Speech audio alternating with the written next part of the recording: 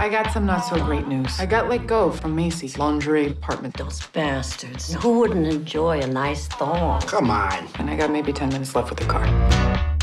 What I need to get is a Job. Husband.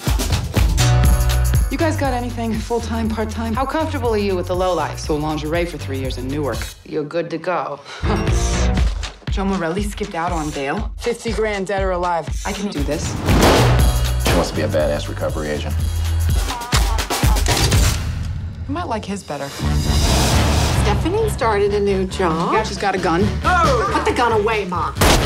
She belongs in a home. Clarence Sampson. He got kicked out of two retirement homes for flashing his. Hello there. Wow. Hookers. They always know something. If you want information from Lula, you gotta bring her a snack. A snack. I'm hungry.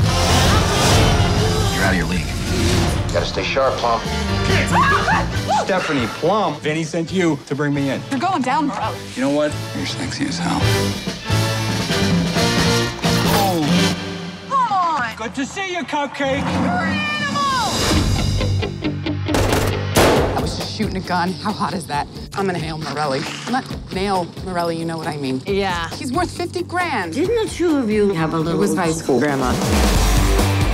Freaking nuts. This is my car. Damn it. Oh my God, is that guy naked? Fresh air is good for the boys. Ah! Oh, come I on. want my car and I want it now. How does a person eat like you eat and look like you look? Hey, are you messing with my Tastykakes, huh? No offense, but you can't bring me in without my cooperation. Yeah. Can't wait to see what you got.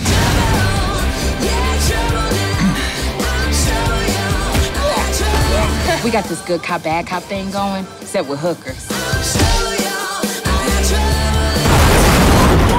They blew up our car. Excuse me, whose car? Your car. You want it back? You've been hit. Thanks, Einstein. Too bad. It's a pretty nice ass.